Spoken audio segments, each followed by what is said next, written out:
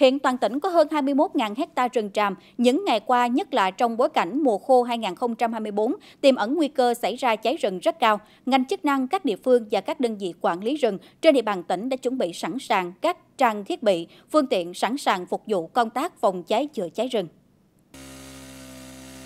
Theo đó, toàn tỉnh hiện có 83 máy chữa cháy chuyên dụng với gần 1.680 cuộn dòi chữa cháy, tổng chiều dài hơn 33.000 mét. Trong đó, gần 50% số máy là của lực lượng kiểm lâm, công an, quân đội, ủy ban nhân dân các xã huyện thị xã có rừng, số còn lại là của các chủ rừng. Ngoài ra còn có một số phương tiện dụng cụ phòng cháy chữa cháy rừng khác như máy bơm, máy ủi, thùng tưới nước, bình xịt, xuồng máy, vân vân.